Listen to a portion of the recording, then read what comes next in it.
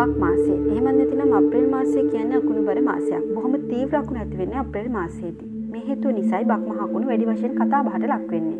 මිනිස් විතරක් නෙවෙයි සතා සිව්පවුණුත් අකුණු නිසා ජීවිතය අහිමි කරගන්නවා. ඉතින් අපි අද අකුණු ගැන කතා කරන්න හිතුවේ ඒකයි. මුලින්ම අපි බලමු අකුණක විද්‍යාත්මක පසුබිම ගැන.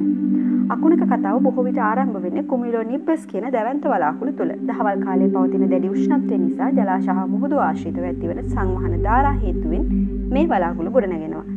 ඒවා වල ඇතුළත තියෙන කැළඹිලි සහිත වාතාවරණය නිසා විද්‍යුත් ආරෝපන ජනනයක් ඇති කරනවා. මෙතනදි ධනාරෝපන වලාකුලේ ඉහළ තලයටත් ත්‍රිනාරෝපන වලාකුලේ පහළ තලයටත් බෙදිල වෙන්වෙනවා. මීට අමතරව වලාකුලේ පහළම ප්‍රදේශය කුඩා ධනාරෝපන පසුම්බියක් ඇති වෙනවා. සමහර අවස්ථාවල රිනාරෝපිත කේන්ද්‍රයත් තන පසුම්බියත් අතර විද්‍යුත් ආරෝපන හුව මාරුවක් ඇති වෙනවා. මෙහිදී ඇතිවෙන ආරෝපන ප්‍රවාහ වලාකුලේ පහළට ගමන් කිරීම ආරම්භ කරනවා.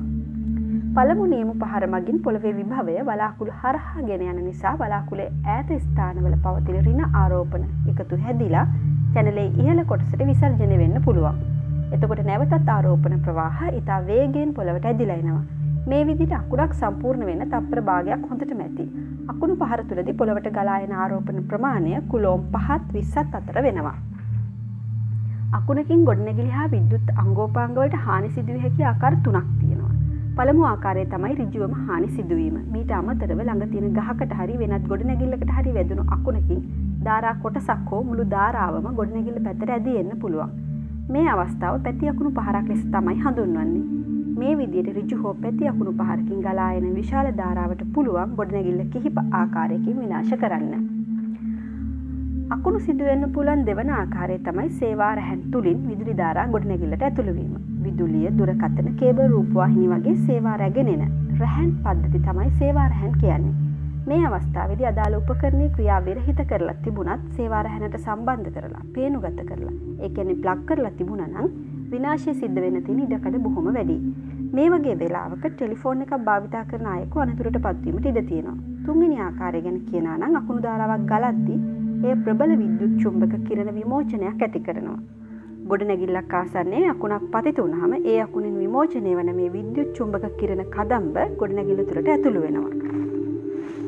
මේ කිරණ සංවේද ඉලෙක්ට්‍රොනික් පද්ධති සහිත කම්පියුට යුද උපකරන වෛද්‍ය උපකරන හරහා ගමන් කළ විට ඒවා විනාශ වෙන්න පුළුවන්.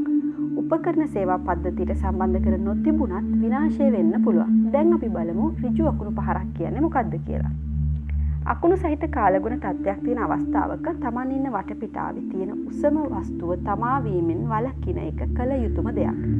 ඒ වගේම අකුණු සහිත කාලගුණයකදී පිට්ටනියක මුහුදුවෙරලක පාලු පාරක වහලයක් උඩ සිටීම හෝ විවෘත භූමියක සිටීම කඳු නැගීම විවෘත බෝට්ටුවක නැගි ගංගාවක හෝ මුහුදේ ගමන් කිරීම පාර දෙපැත්තේ විදුලි රැහන් අලුත් වැඩියක් කිරීම දොඹකර හෝ විවෘත සෝපානවල නැග ඉහළ ස්ථානවල වැඩ කිරීම කුඹුරු කෙටීම වගාබිමුල පොහොර ඉසීම වැනිදේ නොකළ යුතුම දේවල් වෙන්නේ මේ වගේ අවස්ථාවල රුජු අකුණු පහරකට වැදීමේ අවධානම වැඩි නිසා. ඒ වගේම ළඟ තියෙන ගොඩනැගිල්ලකට ගහකට කොඩි කනුවකට වගේ දේකට වදින අකුණකින් ගලන ධාරාව හෝ ඉන් කොටසක් පැති පහරක් ලෙස අපේ ශරීරයට ඇතුල් වෙන්න පුළුවන්. මේ නිසා අකුණු සහිත කාලගුණයකදී විශාල ගස්සයට සිටීම අනතුරුදායකයි.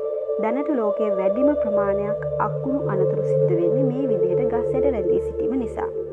ඉතත් දැඩිව අකුණු පවතින අවස්ථාවක අකුණු අනාරක්ෂිත නිවසක් තුළ ඉන්නවා නම් බිත්ති හා විදුලි රැහැන්වල සිට අවම වශයෙන් මිටර් දෙකක් තරම්වත් ඈතින් ඉන්න එක නොනට හොරුයි. නැතිනම් පැති අකුණු පහරකට මුහුණදීමේ සම්භාවිතාව බොහොම වැඩි. දුරකතනේ විදුලි පද්ධති වගේම ජලනල පද්ධති හරහද අකුණු බල පැමැති වෙන්න පුළුවන් කියලා මම මුලින් සඳහන් කළා. මේ නිසා තදබල ලෙස අකුණු වදින අවස්ථාවක දුරකතනේ භාවිතා කිරීම විදුලි පද්ධති අලුත් වැඩියක් කිරීම ජලනල පද්ධතියක් මගින් නෑම විශේෂයෙන් ගෙදර වහලේ මත රැඳූ වතුර ටැංකියකින් පැමිණෙන වතුරු අනතුරුදායකයි. මොකද ශ්‍රී ලංකාවේ නිවස තුළදී වැඩිම අනතුරු සංඛ්‍යාවක් සිදුවලා තියෙන්නේ දුරකතන භාවිතා කිරීමෙන් නිසා. අස්සල තැනකට අකුණක් වැදුණු අවස්ථාවක එම ස්ථාන ඉවතට විභව අනුක්‍රමණය ඇතිවෙනවා. මෙයින් වැලකෙන ජාත්‍යන්තර ප්‍රමිතිය නිර්දේශ කරන විදිහට දැඩි අකුණු ගහන කාලගුණයකදී ඔබ එලිමහන ඉන්නව නම් අසල හොඳින් තනා නිම කළ ගොඩනැගිල්ලක් නැතිනම් කකුල් දෙක කිට්ටුවෙන් තබා ඇනතියා කන් දෙක අත් දෙකින් වහගෙන දනහිස්මත මුහුණ රඳවා ගත යුතුයි. මෙය පියවර විභාවය කියලා තමයි හඳුන්නන්නේ. කිසිම වෙලාවක බිම නිදාගන්න එපා. ප්‍රේරිත විභවය කියන්නේ කලාතුරකින් අනතුරු සිදුවන ආකාරයක්. අසල ගසකට අකුණක් වදින අවස්ථාවක අනාරක්ෂිත ලෝහ වහලයක් සහිත ගොඩනැගිල්ලක වහලේ යට පැත්තේ. විශාල රින ආරෝපණයක් ප්‍රේරණය වන අතර එහි සිටින පුද්ගලයා මතට ආරෝපණ විසර්ජනයක් ඇතිවීම. මේ විදිහට අකුණු ධාරාවක් ශරීරයට ගලාගෙන ගියාම හර්දය ක්‍රමවත් සංකෝචනය මොලයේ පාලනයෙන් බැහැර වෙලා එක් කන්තුව වෙන වෙනම සංකෝචනය වෙන්න පටන් ගන්නවා. එහි ප්‍රතිඵලය තමයි රුදිර සංසරණයට අවශ්‍ය පීඩනය නොලැබීම. මේ විදියට විනාඩි හතරක් පහක් වගේ කාලයක් ගතවනොතින් රෝගිය මරණයට පත්වෙන්න පුළුවන්.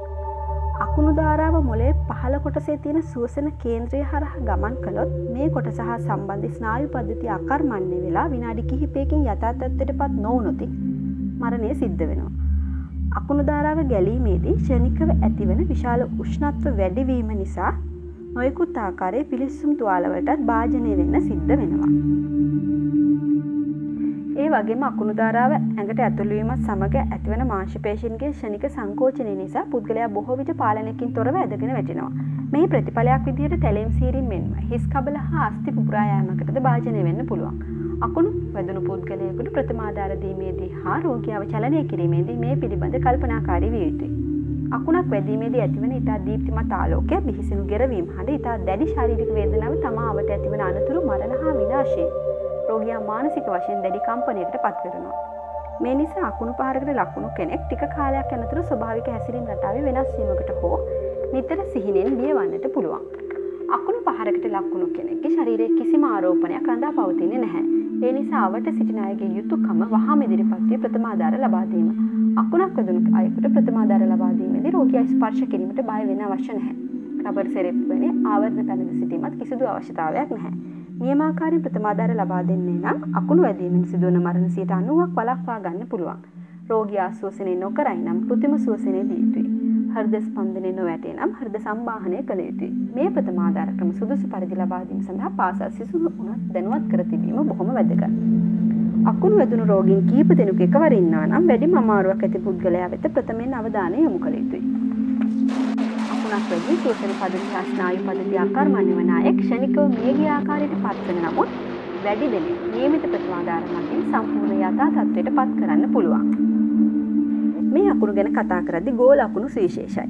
වැහිබර කාලගුණයක් පවතින අවස්ථාවල හාහසේ සිට ගිනි බෝල පහත්වන බවට වාර්තාවන් ලැබිල තියෙනවා. මේ වලා කහ සිට තද රතු වන්න දක්වා විවිධ පැහැයන්ගෙන් යුක්ත වන බව කුඩා රට්ටකජු ඇටයක සිට විශාල පාපන්දුවක් දක්වා ප්‍රමාණයෙන් යුක්ත වන බව බොහෝ දෙනා දැකලා තියෙනවා. මේවද පොදුවේ ගෝල අකුණු යනුවෙන් හැඳින්වෙනවා. ගෝලකුණු මිනිස්සුක ඇති ඇවිදින වේගෙන් පොළොව මත පනිමින් ගමන් කරනවා. දුරකතන හා විදුරු රැහැන් හරහා වේගෙන් ගමන් කරනවා. බොහෝ ගෝලකුණු ජලය වෙත ආකර්ෂණය වන අතරම වසා ඇති වීදුරු ජනය තුළින් ගමන් කරනවා. ගෝලකුණු හා ගැටීමේදී ඉතා දරුණු ප්‍රතිඵල අත්තිදීම සිද්ධ වෙනවා. මේ අවස්ථාවල මරණයට පත් වූ සිටින් බොහොමයක් හා ඉතා දැඩි පිළිස්සුම් තුවාල සිදුව අවස්ථාවක් තියෙනවා. එක් රුසියානු කාන්තාවගේ පාද හරහා ගෝලාකුණක් යාම නිසා ඇගේ දෙපා අඟුරු බවට පත් වුණ ඇයට පිරිස්සීම දැනිලා නැහැ. සාමාන්‍ය ලෝකයේ බොහෝ රටවල ගෝලාකුණු දැකීම විරල සංසිද්ධිය. නමුත් ශ්‍රී ලංකාවේ පසුගිය කාලය තුළ වැඩිපුරම වාර්තා වෙන්නේ ගෝලාකුණු නිසා ඇතිවන අනතුරු. මේ පිළිබඳ ඉදිරිපත් කර ඇති මතවාද අනුව ගෝලකුණු කියන්නේ තීව්‍ර විද්‍යුත් චුම්බක ශේත්‍රයක් තුළ සාන්ද්‍රණය වූ ප්ලස්ම තරලයක් බවයි වැඩියම පිළිගන්නේ. අකුණු සහිත කාලගුණයක් යටතේ නිවසේ පිටත එළිමහනේ රැඳීමට සිද්ධ වෙනවා නම් අසල සිටින අය සමඟ අඩි හයක්වත් ඈතින් ඉන්න ඕනි. තෙත ඇඳුමක් ඇඳගෙන ඉන්නවා නම් අකුණු පහරකින් විශාල හානියක් සිද්ධ වෙන්නේ නැහැ. මොකද තෙත ඇඳුම් වල ප්‍රතිරෝධය අඩුයි. ඒක නිසා අකුණු ධාරාව ශරීර අභ්‍යන්තරයෙන් ගමන් නොකොට ශරීරයේ පිටතින් ගමන් කිරීමට ඇති ඉඩ කඩ වැඩි. ලංකාවේ වැඩිපුර අකුණු වදින ප්‍රදේශ තියෙනවා. උදකලා කඳුගැටයක් මත තියෙන ගමකට වැඩිපුර අකුණු වැදීම ස්වභාවිකයි. ඒත් විශේෂ භූගෝලීය හේතු සාධක නැති වුණත් අකුණු ඝනත්වය ඉතා අධික වන ප්‍රදේශ ලංකාවේ තියෙනවා. අවිස්සාවේල ගිනිගත් වෙන කරවනැල්ල හොරණ ඉංගිරිය පාදුක්ක බුලත් සිංහල මතුගම කළුතර දිස්ත්‍රික්කයේ අනෙකුත් බොහෝ ප්‍රදේශ කොළඹ දෙහිවල රත්මලාන මුරටුව පානදුර මාලබේ අතුරුගිරිය කඩුවෙල බියගම වැලිවේරිය යක්කල නිට්ටඹුව කිරිඳිවල මල්වාන හංවැල්ල මීගමූ සහ කටුනායක මින් ප්‍රධානයි. මේ බොහෝ ප්‍රදේශ නාගරික පරිසර නිසා ජීවිත හානිවලට වඩා උපකරන අනතුරු වැඩි. ගම්බද ප්‍රදේශවල පුද්ගල හා සත්ව අනතුරු වැඩි. හේතුව තමයි මේ ප්‍රදේශවල මිනිසුන් එලි මහනේ විශේෂයෙන් ගොවි බිම්වල සිටීම. පසුගිය කාලේ ලංකාවේ ප්‍රදේශ රාශියක සේවා කුළුණු ඉදි කළා. මේ සමග අකුණු හා සම්බන්ධව අවරු ප්‍රදේශවාසීන්ගෙන් පැමිණි රාශියක් ලැබිලා තියෙනවා. ප්‍රධානම පැමිණිල්ල තමයි කුළුණු ඉදිකලට පසු ප්‍රදේශයේ නිවාස හා ජීවිතවලට වන අකුණු හානිය වැඩි වූ බව. අනෙක් පැමිණිල්ල කුළුණට අකුණු ආරක්ෂක උපකරණ සවිකලට පසු ප්‍රදේශයේ අකුණු සංඛ්‍යාව වැඩි වූ බව. සාමාන්‍ය විද්‍යාත්මක පිළිගැනීම නම් කුළුණක් මගින් අකුණක් උපැද්දවීමට නම් එහි උස අවම මීටර් එකසි පණහක්වත් විය යුතුයි යන්න. කුළුණේ උස මීට වඩා අඩු නම් අකුණක් පොළවට පැමිණෙන ප්‍රමාණය වැඩිවීමක් වෙන්නේ නැහැ. ඊළඟ කරුණ තමයි කුළුණට අකුණු ආරක්ෂක පද්ධතියක් යොදලා තියෙන අවස්ථාවක ප්‍රදේශයේ ගොඩනැගිලි වලට වඩා කුළුණේ උස වැඩි නිසා. අකුණු කුළුණ වෙත ඇද ගැනීම. මේ අනුව කුළුණ ප්‍රදේශයේ ගෙවල්වලට ආරක්ෂාවක් ලබා දෙනවා. නමුත් ගැටලුව තමයි කුළුණට සැපයූ කුළුණු ආරක්ෂක පද්ධතිය භූගත කිරීමේ සම්බන්ධය. භූගත සම්බන්ධය සතුතුරායක නැතිනම් ආරක්ෂක පද්ධතිය ආකර්ශණය කරගන්න අක්කුණු ධාරාව නිරුපද්‍රිතව භූගත කිරීම නියමාකාරයෙන් සිද්ධ වෙන්නේ නෑ. ඒ වගේ අවස්ථාවක අකුණු පොළොව මතු පිටින් බොහෝ දුරකට ගලා යනවා. මේ පියවර විභවයේ ප්‍රතිරියාමත් ලෙසයි විග්‍රහ කරන්න පුළුවන්. මේ හේතුව නිසා අසල නිවාසල විදුරු ගෘහ බාණ්ඩ හා ඉලෙක්ට්‍රොනික් උපකරන විනාශ වී යන්න පුළුවන්.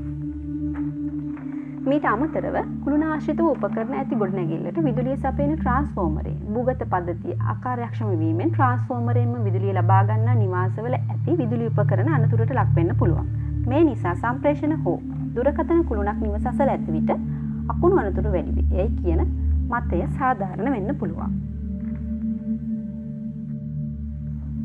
ලෝක ප්‍රජාව මුලින්ම අකුණුවලින් ආරක්ෂාවිය හැකි බෞතික ක්‍රමවේදයක් පිළිබඳ ඇස්වි දහනමනි සියවසේදී. එහෙත් පස්වනි සීවසෙලියූ මහාවංශයත් ඊට පෙර කෙටියු සෙල්ලිපිවලත් අපේ රජවරු මහා ස්තූපවලට අකුණු ආරක්ෂක පද්ධති හෙවත් වජ්‍ර චුම්බට සවි කළ බවට කියවෙනවා. අනුරාධපුර පොළොන්නරු යුගවලට ඇති ස්තූපවල මැදින් බිම සිට ඉහලට දිවෙන තබ කූරක් ඇති බවට වන ජනප්‍රවාද හේතුවෙන් මහාචාරය චන්දිම ගෝමස් මහතා මේ පිළිබඳ පර්යේෂණ සිදු කර තියෙනවා. ඒ වන විට අකුණු ගනත්වය එතරම් අඩු ප්‍රදේශයක් නොව රජරට තැනිතලා භූමිය ඉතා ඉහලට එසවන ස්තූප අකුණු අනතුරුවලින් ආරක්ෂා වී තිබීම නොවිසිඳුණු ප්‍රහෙලිකාවක්.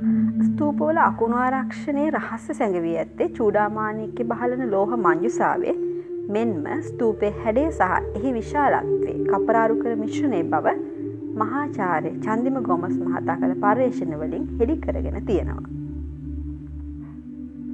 ඉතින් ඔන්න සශු චැනල් එකත් එක එකතුලා ඉන්න අපේ යාලුව වෙනුවෙන් අපි අදත් අලුත් දැනම පිරුණු වීඩියෝ එකක් කරගෙනවා ඉතින් ඔයා මේ වීඩියෝ එකට කැමති නම් ලයි කරන්න. මේ දැනම යාලුවොත් එක බෙදාගන්න ෂයා කරන්න. ඔය තවමත් සශු චැනල් එක සබස්ක්‍රයිබ් කරල නැත්නම් ඔයට අපි අලුතෙම එකතු කරන දැනම පිරුණු වීඩියෝ මගහැරෙනවා ඉතින් දැම්ම අපේ චැනල එක සබස්ක්‍රයිබ් කරලා එතනම තියෙන බෙල්ලයිකන්න එකත් කලික් කරලා අපේ වීඩියෝ ගැන නොටිෆිකේෂන් එසැනින්ම ඔයාගේ ෆෝන් එකට ගෙන්න්න ගන්න. මේ වගේම අලුත් දැනම පිරුණු වීඩියෝ එකකින් අපි ආයෙත් දවසක හම්බවෙමු.